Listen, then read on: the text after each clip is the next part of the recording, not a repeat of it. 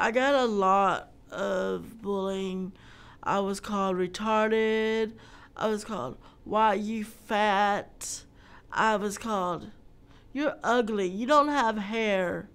And I would say I I'm sick. I have a disease. And so I lose hair. They said you're ugly because you don't have eyelashes, eyebrows. You need to go to the mental hospital. And I got to a point I got sick and I was put in special ed. I was in special ed my whole junior high year. And it was hard on me because when I got into high school, I had a little bit of bullying. Um, I couldn't do PE class because people would poke at me and call me, "Oh, you're ugly. You stink. You're retarded." And then I get that made me sick where I missed a lot of school days.